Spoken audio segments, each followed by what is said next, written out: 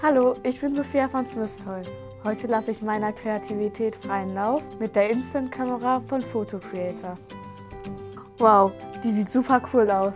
Und wie der Name schon sagt, kann die Kamera die Fotos direkt ausdrucken. Aber lass uns doch erstmal schauen, was alles mit dabei ist. In dem Set sind Stifte und Sticker mit dabei. Damit kannst du Fotos und die Kamera verzieren. Dann sind noch ein paar Rollen Fotopapier mit dabei, sodass du gleich loslegen kannst. Eine Speicherkarte gibt es auch noch dazu und ein Bändchen für die Kamera.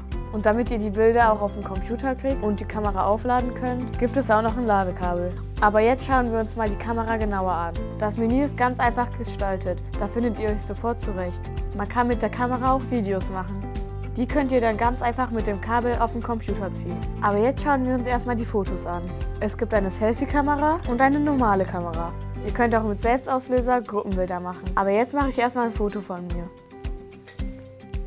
So, und schon kommt das Foto raus. Guck mal, wie schnell das geht. Jetzt noch abreißen und mit den Stiften und Stickern könnt ihr jetzt noch das Foto verzieren. Und schon ist das Foto fertig verziert. Ob für dein Scrapbook, Freundebuch oder für deine Zimmerwand. Die Bilder sehen überall richtig gut aus. Und jetzt zeige ich euch noch was ganz Besonderes.